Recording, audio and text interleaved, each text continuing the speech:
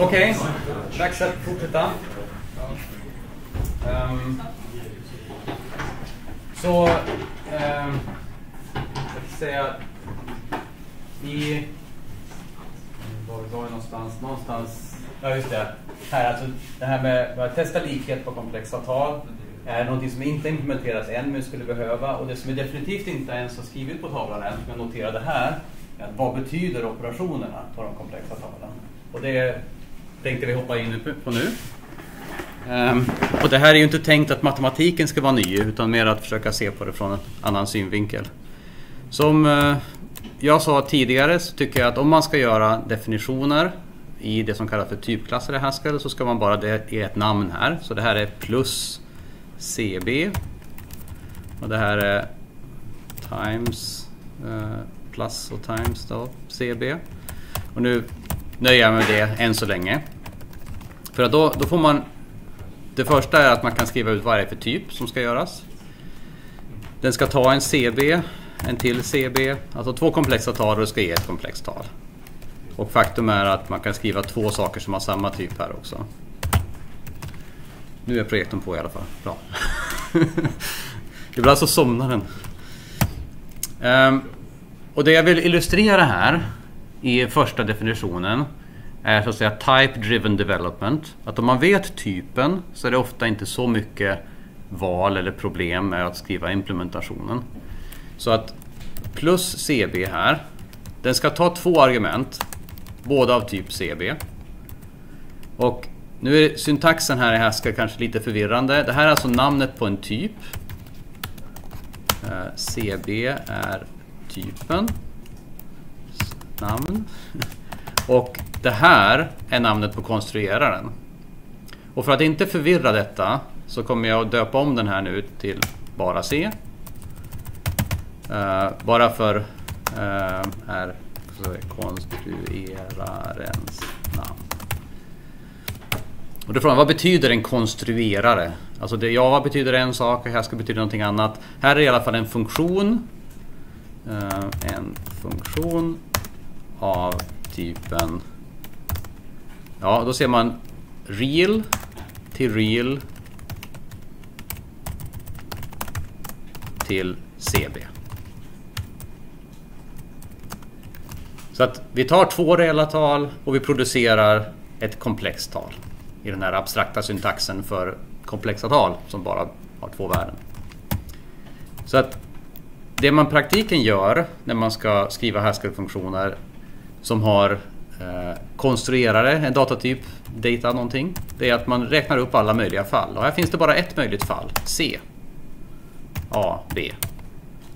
För det första argumentet. Eftersom det är av typen CB så måste det ha konstrueraren C och den måste ha exakt två argument. För det, det är det som så den är definierad. Sen finns det ett till argument. C, C. Ja, nu kanske det blir komplicerat att kalla den för det. Vi ska kalla den för X och Y där istället. För mycket. C, A, B och C, X, Y. Så nu har den två argument och den ska producera någonting. Men även här är det så att det finns inte så mycket val. CB, ja det måste vara ett C. Alltså konstruera en C och så något, något annat. Eh, alltså något måste det stå där. Och faktum är att det kan stå så här. För vi kan säga något är lika med och eh, något annat är lika med, om, det nu, om vi vill typchecka det på vägen så kan vi också fylla i undefined. Um, times CB lacks an accompanying binding. Okej, okay, så att jag får göra en times CB lika med undefined. Okej, okay, variable not in scope. Något annat. Åh, oh, jag har stavat fel här någonstans. Något annat. Ja, man får lite hjälp från från Haskell. Så nu, nu har vi i alla fall en, en plus CB plus CB av Z och W. Ja, den, den gav något fel så tycker den eh, Emax-moden visar istället bara typen. Okej, okay, men vi har i alla fall skrivit någonting som är typkorrekt. Och vi vet att vi måste fylla i vad något är och vad något annat är. Och här, jag menar, vet man ingenting om komplexa tal så är det förstås inte så rätt. Men om man bara tänker efter vad, vad de är till för. De har en reell del och de har en imaginär del. Och någonstans så ska de representera två oberoende komponenter. Så att det här är bara A plus X och det här är B plus Y.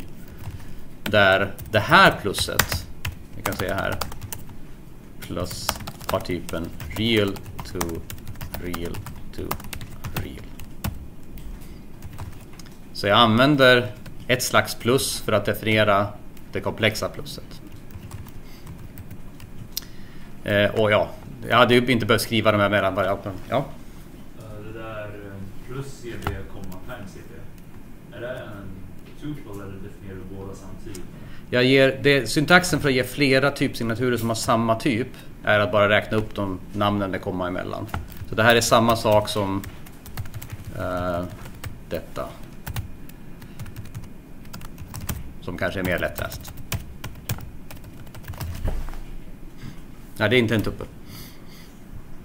Um, Okej, okay, plus var trivial enkelt men syftet här som jag sa det är att illustrera det här med att låta typerna styra programmeringen. Jag vet att det argumentet jag får in måste vara ett par med konstruera en C först och det andra också. Och jag måste, svaret måste ha ett C först. Och sen måste jag fylla i något och något annat. Men redan där så har jag liksom strukturen för programkoden klar. Det enda som behövs är liksom den inre algoritmen för exakt hur jag plussar ihop realdelarna och hur jag plussar ihop de imaginära Uh, för times, uh, jag menar alla vet säkert redan hur man räknar ut multiplikationen men jag tänkte bara illustrera den. Eh, en annan princip som kan vara användbar. Eh,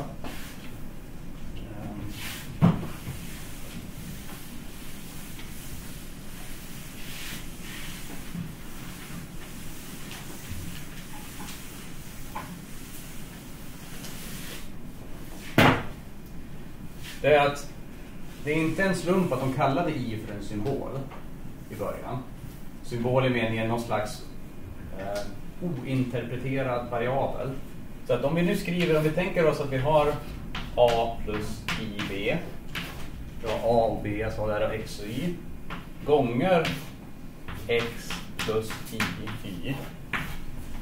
Om vi bara tänker oss det som, som en variabel, som ett polynom, ett första grads polynom i I, så vi har inte kallat i för imaginära enheter eller någonting. Vi bara säger att i är någon slags variabel. A och B är någon slags konstanter och vi vill räkna ut den här multiplikationen.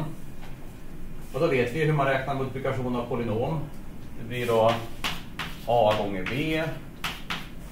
Det blir A gånger i Y. Det blir IB gånger X. Och det blir IB gånger i.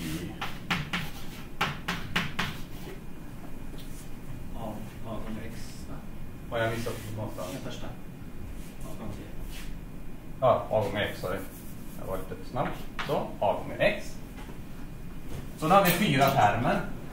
Eh, och vi får komma ihåg att det här är polynom i i, inte i x eller y. Det är kanske ovanligt, men i alla fall.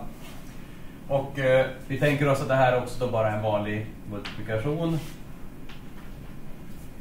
Om man inte vet någonting om komplexa tal så kanske det är svårt att gå vidare. Men om vi sagt att vi tänker oss det här som, som polynom och att det är multiplikation.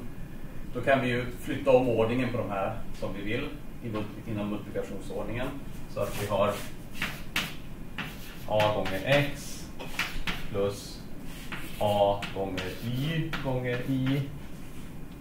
Men vi kan samla ihop dem också. a gånger y plus b gånger x gånger i plus b gånger y gånger i kvadrat. Så det här, än så länge så har vi inte gjort någon slags tolkning av någonting utan det är bara en multiplikation av två polynomer i i. Eh, nu vet vi då, i nästa steg så gör vi den här tolkningen och säger jaha, vi har en regel här. Vi har faktiskt kommit överens om att i kvadrat är minus 1. Så att eh, då kan vi ju förenkla det här uttrycket ett steg till och säga att det här är a gånger x minus b gånger y plus, och så samma parentes som stod där, gånger i. Så då har vi genom att först multiplicera polynom, eh, göra lite distribution av, av symboler och sen använda den enda regeln, nämligen att i kvadrat skulle vara minus 1. Kommit fram till ett uttryck på första grad som ett första igen. Så vi började med två första och vi har avslutat med ett eh, första. Och det betyder att om vi vill att multiplikation ska bete sig som polynommultiplikation modulo den här regeln, att i kvadrat är lika med minus 1, så är det det som står här och det som står här, alltså där då, som vi behöver fylla i i definitionen för multiplikation.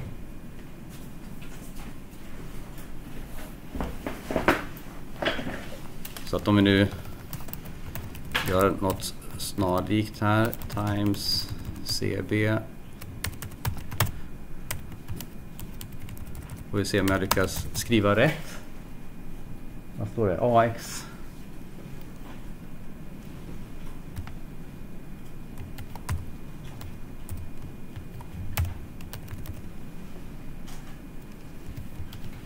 Det här är typiskt en sån sak som man alltid brukar göra fel någonstans, men vi får väl se om det blir rätt.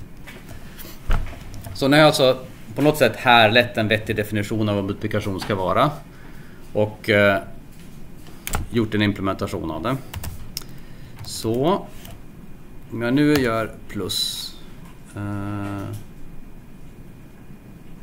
va? Z har inte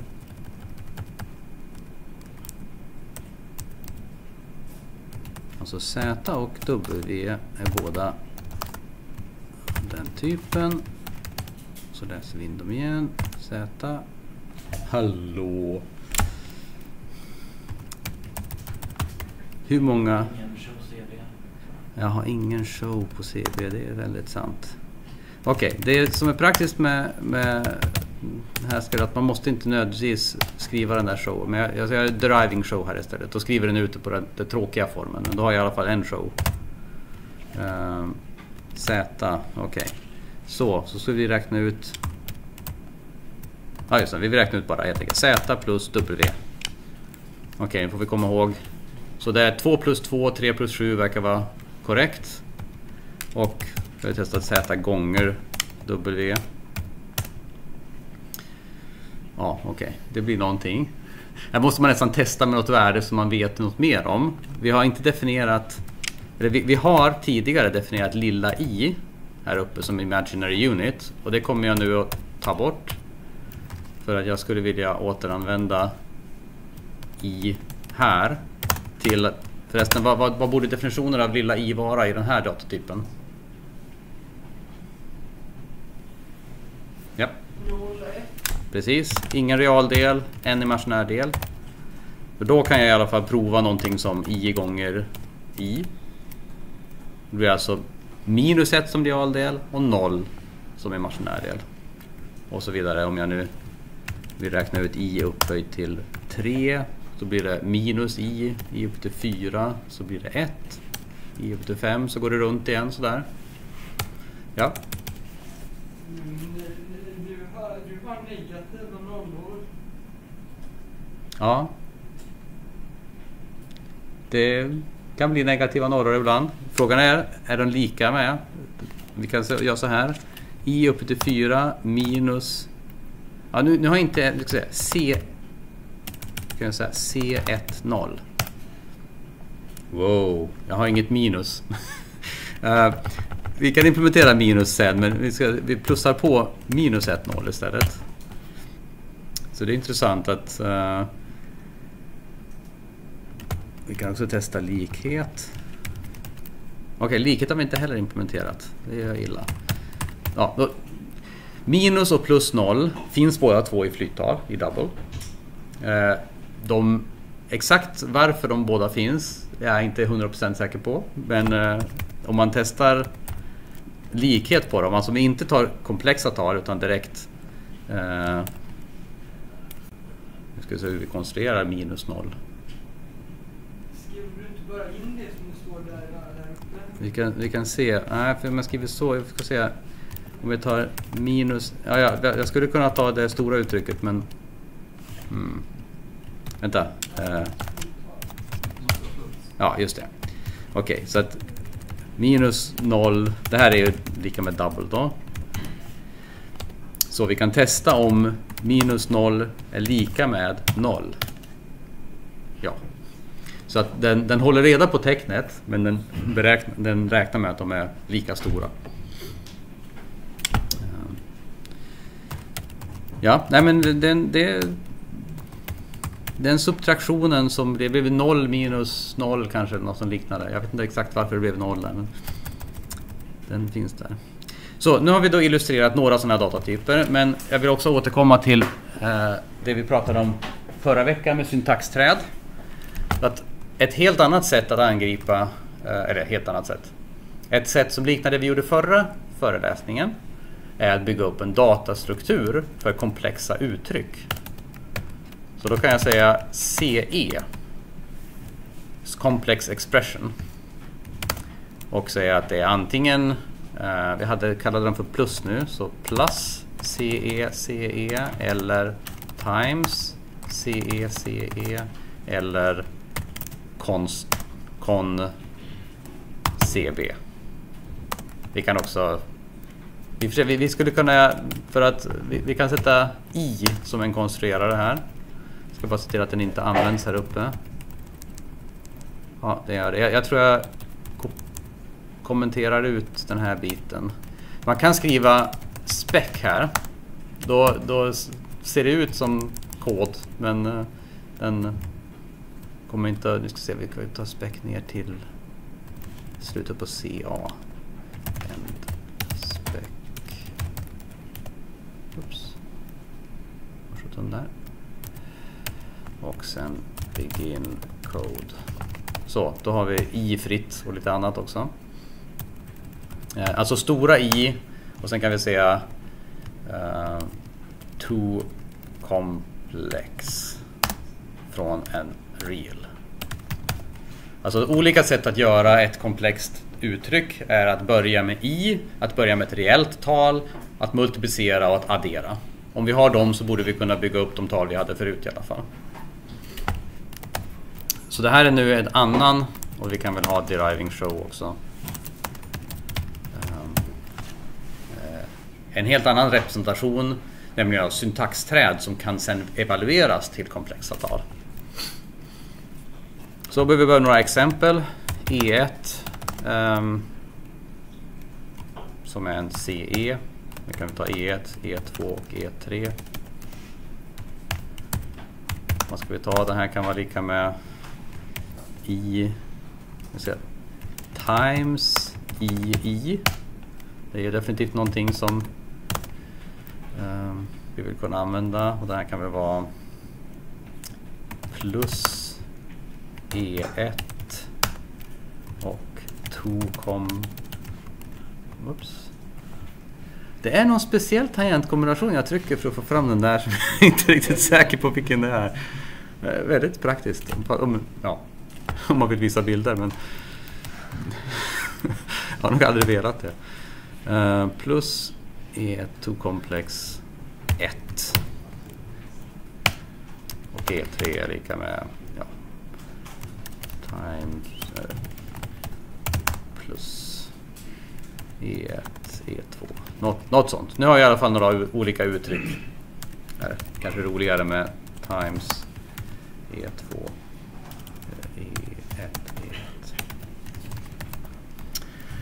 Okej, okay, så um, tanken är nu att, att uh, jag skulle vilja skriva uh, Först se hur de uttrycken ser ut. Så E1, E2, E3.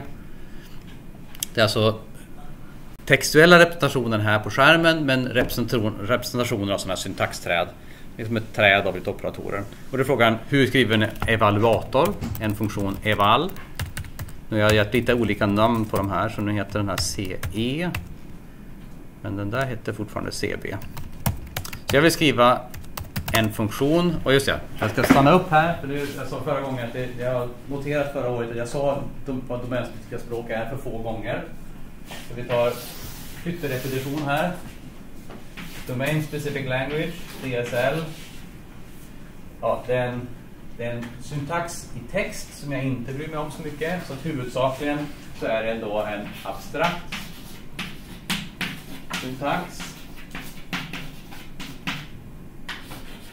En semantik.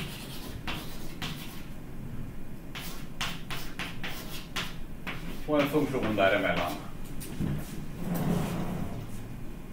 Alltså är det här normalt sett någon slags typ av syntaxträd. En funktion som tar oss över normalt sett en rekursiv funktion av de här syntaxträden och sen en semantik. Och i just det här fallet så är syntaxen CE och semantiken CB.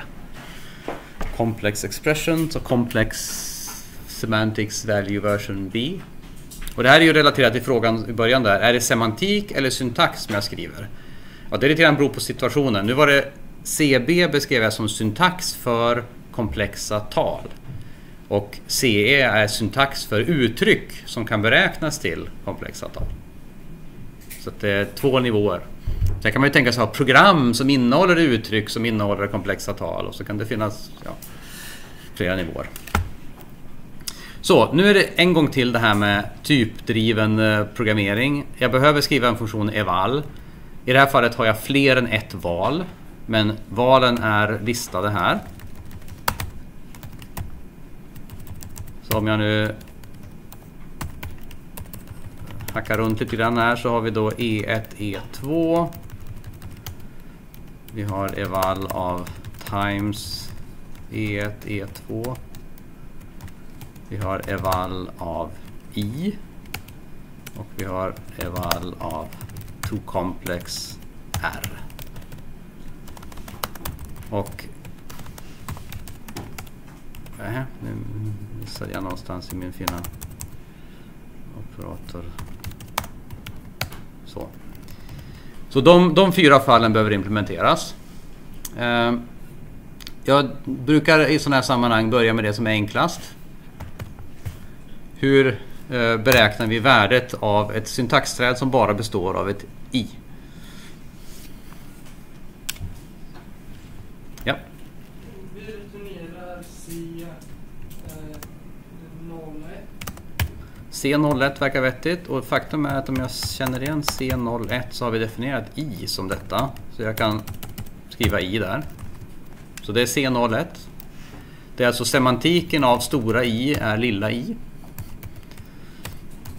Okej, vi kan lägga den först. Den, den är liksom... Oops. Vad tog e vägen? Ja, den är klar i alla fall. Ehm, det här känns som näst lättast, så den tar vi sen. Om jag vill bädda in ett komplext tal, eller ett reellt tal i som ett uttryck med komplexa tal. Och när det här inte liksom eh, ja, i är kanske enkelt också, men jag, jag, jag, vill gärna ha ett så enkelt uttryck som möjligt på högerledet. Så jag, jag föreslår att vi skriver bara to complex R och sen listar ut vad ska to complex göra, det vill säga vilken typ har den och hur ska den definieras.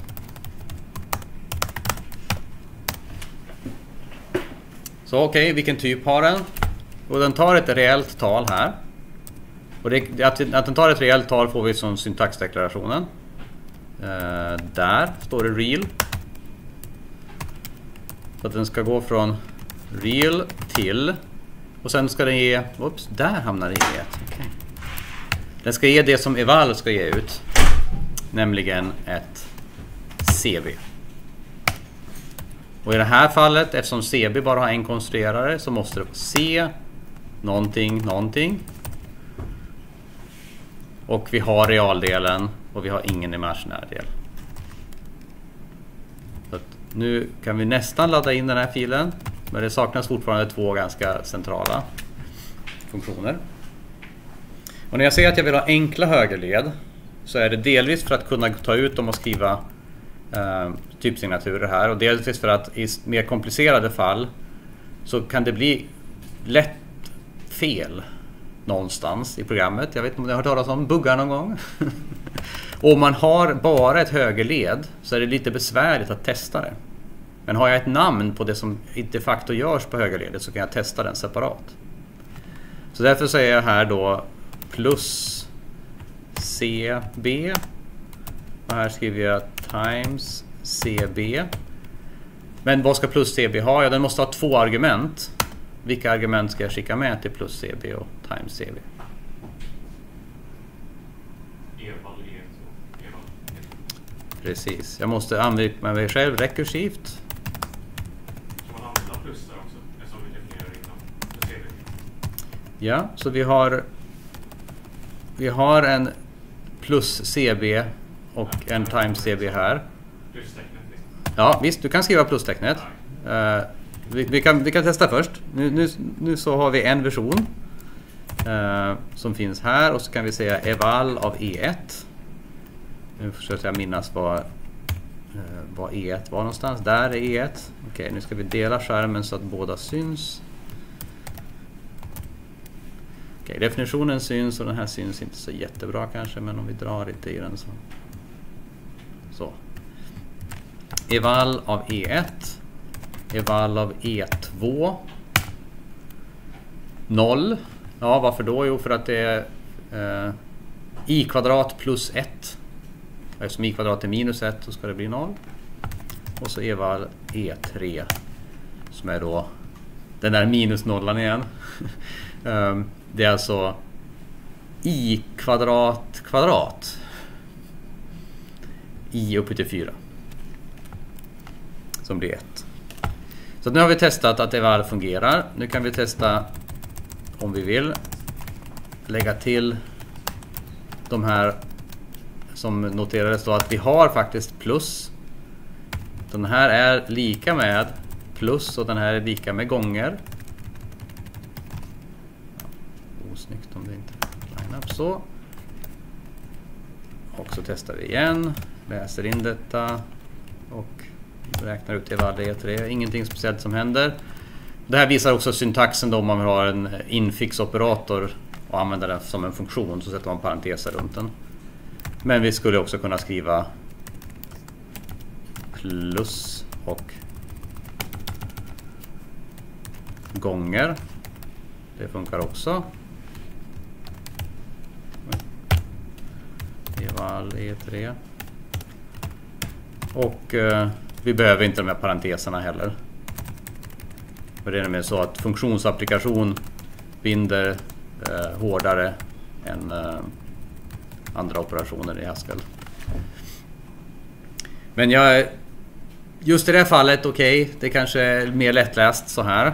Eh, men jag tror ändå på att verkligen gå ut, ta ut de här separata funktionerna plus CB, times CB och ge dem som finns här uppe nu då, times CB Ge dem en typsignatur och en definition separat.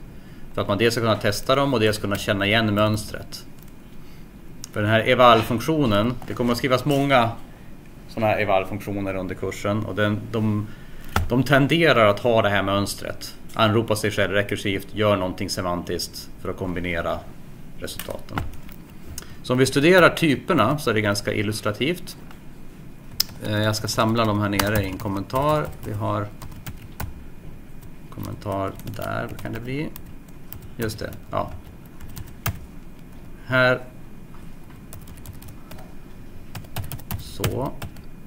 Så vi har plus CB av den typen. Vi har plus här. Vi kan fråga, Eh, för säkerhets skull kan vi fråga ehm, vad Haskell säger. Vad har C vad har plus för typ? Så den har alltså en typ som är väldigt lik typen för plus CB.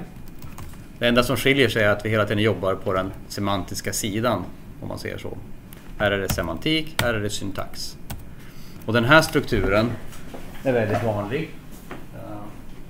Att man tar, när man, över, man definierar eval, så det man behöver göra egentligen för varje konstruerare i sin datatyp är att översätta från den syntaktiska konstrueraren till en semantisk funktion.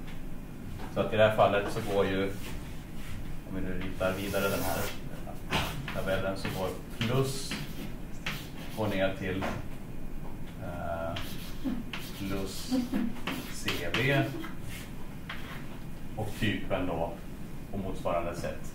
Alla ställen i plus där syntaxens typ finns byts ut mot motsvarande semantiska typ. Och det är påfallande ofta sånt här och det kommer dyka upp, vi kommer prata mer om det. Det är egentligen det som brukar kallas för homomorfismer. Homomorfism är att man, man bevarar strukturen. Man har en viss struktur i syntaxen, man vill ha samma struktur i semantiken. Men det tar vi inte upp idag. Så, ja, strukturen för um, complex och i och så vidare är snarlika. Då. Uh, eh, show har vi visat redan. Just det. Så nu egentligen, det, det här då, då är vi klara med exemplet uh, talsystemen och exemplet komplexa tal.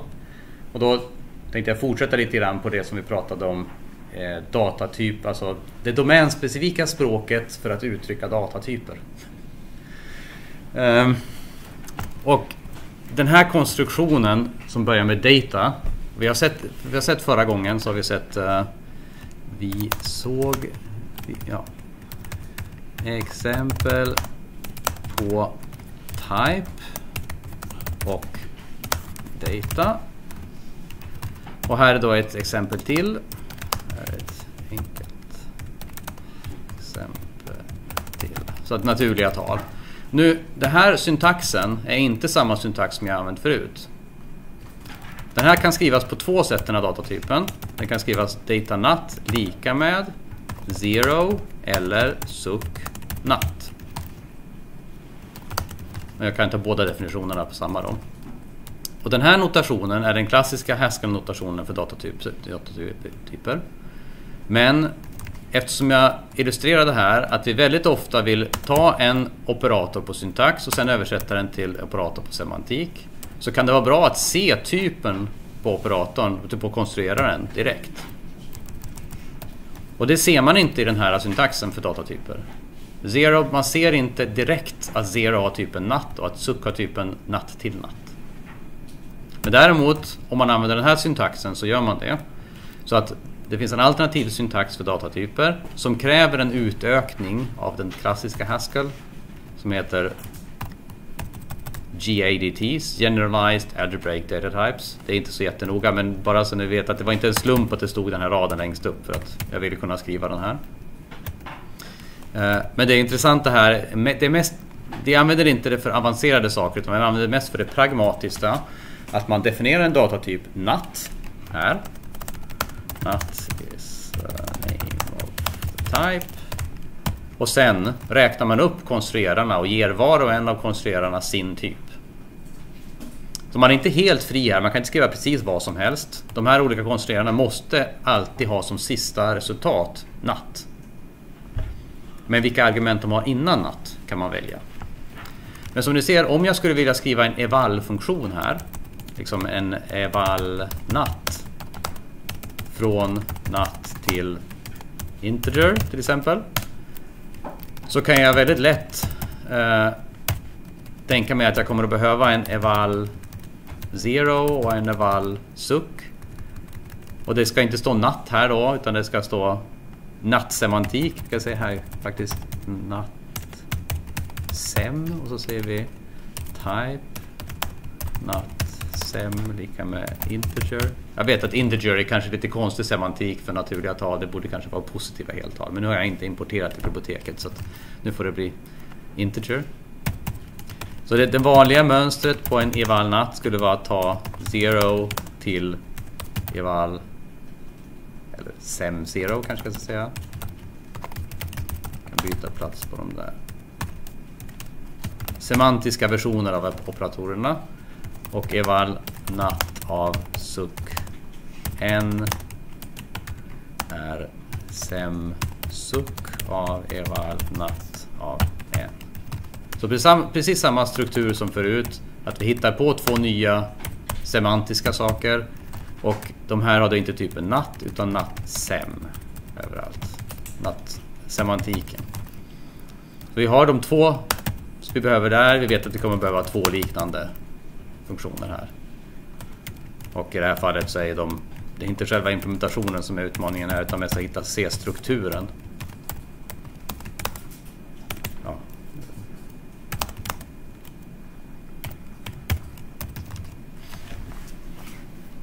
Så vi översätter i nästan alla fall som vi kommer att stöta på en syntax till en semantik genom att var och en av konstruerarna som listas här behöver hitta en, en egen definition semantiskt. Ehm, jag kommer inte gå ner på de där exemplen nedan men jag vill påminna om att det som vi märkte när vi gjorde det här på första föreläsningen var nu har jag valt att arbeta utan variabler här men då hade la vi till variabler.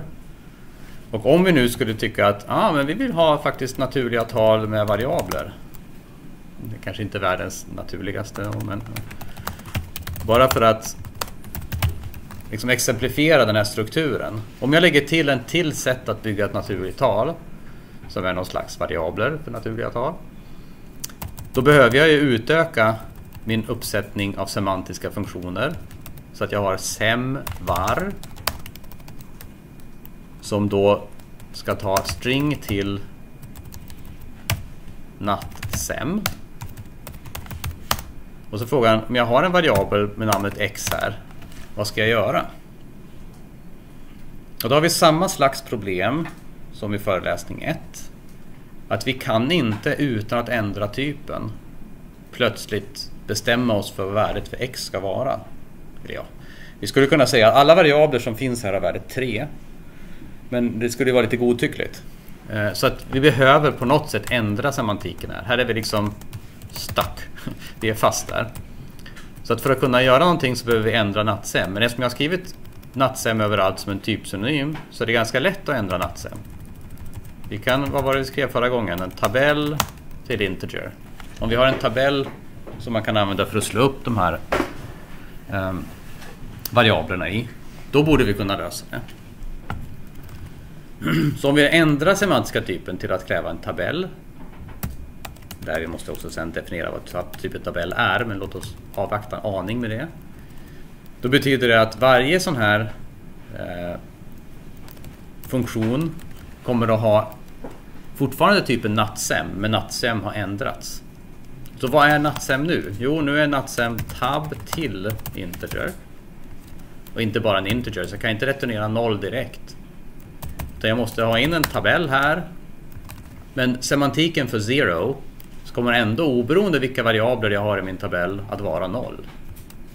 Så att ta in vilken tabell du vill, bryr dig inte om innehållet.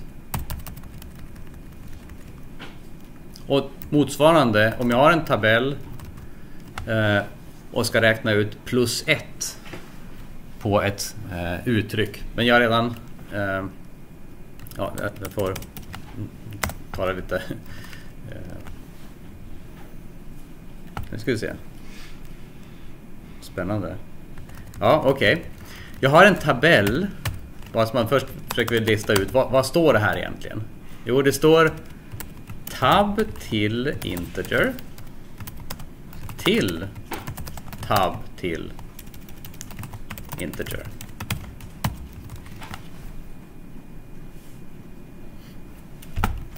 Så att den argumentet jag får här är en funktion f av den här typen. Den funktionen kommer att räkna ut värdet av ett visst eh, syntaktiskt uttryck. Och sen måste jag kunna räkna ut värdet av det uttrycket plus ett. Så då är frågan, vad, hur gör jag det? Hur räknar jag ut eh, ett värde här som ska vara en nattsem? Och då kan man använda Type Driven Development igen. Alltså nattsem vet jag är en funktion. Jag kan skriva funktionen tab till och sen så ska jag returnera ett värde. Och vilket värde? Ja, jag behöver använda funktionen f. Och funktionen f tar som indata en tabell. Och jag, som tur är har jag en tabell i handen. Den här tabellen. Och så vill jag plussa på ett på det. Jag kan skriva sådär om ni vill. Alltså resultatet av att beräkna successor är ett mer än resultatet av vad F skulle ha gjort utan successor utanpå den. Och nu ser det här kanske lite eh, udda ut, men det är för att jag ville att jag skriver en anonym funktion till höger för att se att det är natsem till natsem som är typen. Det är alltså en funktion från tabell till integer till en funktion från tabell till integer. Slutligen, här då. Natsem, alltså om vi skriver ut det här så är det alltså string till eh, tab till ja, vi kan ha parentes om ni vill, integer. Det vill säga om man vill skriva det på samma stil så är det alltså den tar en variabel x, den tar en tabell och sen ska den på något sätt lyckas få reda på vad värdet av x i den tabellen är. Förra gången så skrev vi slå upp x i tabellen. Och det kan vi göra den här gången också om vi vill. Eh, det vi då kom fram till var att faktiskt vi kan implementera tabellen som en funktion. Vi kan säga att typen tab är faktiskt precis det som behövs här. Eh, det är en funktion från string till integer. Alltså vi översätter alla variabler till värden. Om det är den, den typen vi har så betyder det att vår slå upp ska ta en string, en tabell och ska ge en integer. Och den tar sitt x, sin tabell, applicerar tabellen på x. Alltså funktionsapplikationen av funktionen som tabellen representeras av. Och eh, slår upp den. Nu tror jag att det här kan tänkas vara lätt att gå att läsa in. Vi kan se. Vi behöver något uttryck också. Hej, som är typen av natt. Kan ni ge mig något exempelvärde på natt som vi skulle kunna använda? Kanske ska minnas, ja. Um, var x. Ja. Det är inte så mycket vi kan göra faktiskt. Den är inte jätterolig datatyp det här. Man kan göra suck, suck, suck, suck, suck var y. Man kan göra suck, suck, zero. Men sen är man liksom, sen man, så fort man använder något annat än suck så är man fast liksom. Men i alla fall, suck var x, helt klart. Det är, en, det är ett eh, värde. Vi kan prova om jag hade en show-instans. Nej, det hade jag inte. Uh, kan se här. Deriving show. Okej, okay, den, den finns där och så frågan kan jag då skriva eval. Eval natt heter den. Eval natt av hej. Och då säger den ja okej okay, det är nattsem men det är ingenting vi kan skriva ut för nattsem är en funktion. Den behöver en, en tabell här, en funktion som tar en sträng eh, variabelnamnet till ett värde. Till exempel if v är lika med x Den 17 else 38 eh, Okej, okay. evalnat var inte färdig. Just det. Jag har definierat semantiska funktionen här, men jag har inte uttryckt, jag har inte gjort, slagit upp någonting. Var v är lika med sem var v. Nu ska vi se. Okej, okay. nu blev det 18. Ja? Uh, I den där sem-funktionen. Ja? Du skickar aldrig med här. Hur, eh, hur har du tillgång till den i den här funktionen? Jag skickade in den där, eller hur menar du? Ja, det, här, det här är ett exempel som, som det är en minut kvar, vi inte hinner gräva ut här exakt. Men eh, det är alltså ett exempel på att även om det inte är särskilt naturligt eh, i just det här fallet med naturliga tal, att när ibland när man utökar en datatyp så blir man tvungen att ändra semantiska typen. Det betyder att all kod man hade förut kommer liksom plötsligt fallera. Men eh, vad är det man säger? Mm. Refactor without fear. Ja, I alla fall, det, det som är typ praktiskt med ett starkt typ av språk är att man kan alltid liksom fånga de felen med hjälp av eh, typ typsystemet och försöka hitta en, en ny definition som fungerar. Så i det här fallet, F är alltså semantiken för eh, uttrycket innanför suck och det är i sin tur en funktion som slår upp i en tabell vilka variabler vi har och räknar ut ett värde. Och sen får den sin tabell. För den ska bli också en sån funktion som tar en tabell. Så den här tabellen kommer in som eh, andra argument till SEMSUK kan vi se. Det syns inte från början kanske att den har två argument för det ser ut att F är lika med men det här är en anonym funktion som skulle lika gärna kunnat skrivas eh, så. Men skriver man den så så kanske man blir förvirrad av att det står en det ser ut att ha ett enda argument här uppe. Så att det, det är valfritt. Okej, okay, tack. Som sagt, det är inte övning just nu förutom i något litet specialfall. Eh, och sen är det övning imorgon.